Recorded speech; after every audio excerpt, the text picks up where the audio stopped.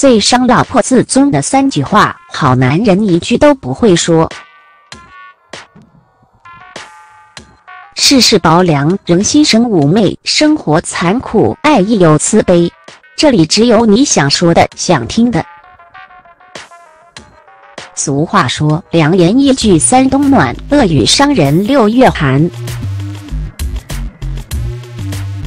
会说话不仅用于日常交际中，还能在婚姻中起到很好的帮助。有时候你明明想表达的是这个意思，可一到气头上表达出来的却是完全相反的意思。说祝无意，听者有心。你不经意的一句话，就能很轻松的把彼此之间多年的感情瞬间摧毁。我们总是把最温柔、最善解人意的一面展示给陌生人，把自己最恶毒、最胡闹的一面展示给最亲近的人。特别是在夫妻吵架的时候，什么狠说什么，什么难听说什么，你是过了意识的嘴瘾。可你有想过，对方听到你说的这些话，心里有多受伤吗？恋爱的时候，我们总想把自己最好的一面展示给对方，恨不得把这世间最美好的形容词都拿来夸赞对方。可一旦走进婚姻这座坟墓，就开始发现，原来对方身上有这么多自己忍受不了的缺点。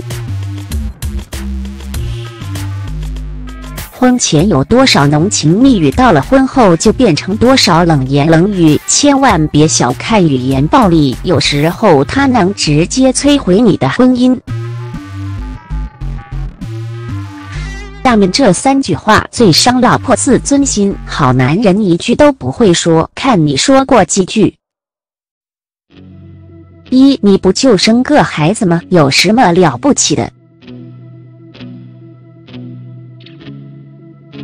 结婚生子对于两个人来说都是人生大事，特别是生孩子，有了孩子之后的三口之家才算完整。女人经过十月怀胎，一朝分娩，生下可爱的宝宝，只有女人自己能体会这过程中曾经历过多少苦和累，又熬过了多少个不眠之夜。很多初为新手妈妈的女人，在照顾孩子的时候，难免会手足无措。有时候实在忙不过来，就叫男人过来帮忙，或者脾气变得很急躁，偶尔会催男人几次。可现实生活中有很多男人会不耐烦，觉得你不就生个孩子吗？有什么了不起的？老子累死累活赚钱，也没见像你这么矫情，让你干点活都要攀住我，我很累的好吗？男人以为这句话只是随口说说，而女人则听进了心里。原来生孩子在男人看来只是一件小事，他所有的付出都不被男人珍惜，还被觉得太矫情。简简单单的一句话，已经足够让女人伤心。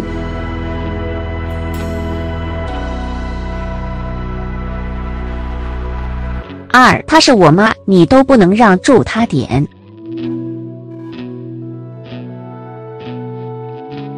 很多男人在自己老婆和自己亲妈发生矛盾和摩擦的时候，习惯性的不分青红皂白的站在自己亲妈那一边，帮助亲妈训斥自己老婆，还说为人子女不是应该孝顺吗？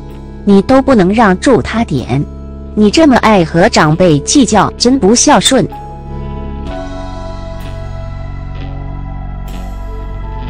他只看到了女人所谓的不孝，却看不到自己亲妈是如何对老婆挑三拣四、冷嘲热讽的。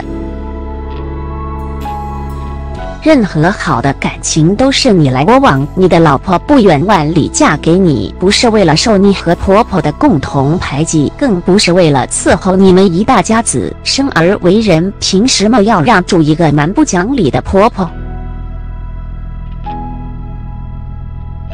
三还能不能过？不能过就离婚。两个人吵架的时候，难免会因为一时冲动，考虑不周全，什么话都说出来。但这句话只要男人一说出口，就预示住婚姻快到头了。一个张口闭口提离婚的男人，要么已经不爱自己老婆了，要么已经婚外有人了。这两种原因，不管是哪种，都够女人苦一辈子的。希望是一点一点积攒来的，失望也是很多时候等你说的次数多了，女人自然会离开。任何好的婚姻也会有争吵和摩擦，但有些话就像一把刀子，狠狠扎在女人的心上。我真希望每一位看文章的你都没有说过这三句话，更没有听过这三句话。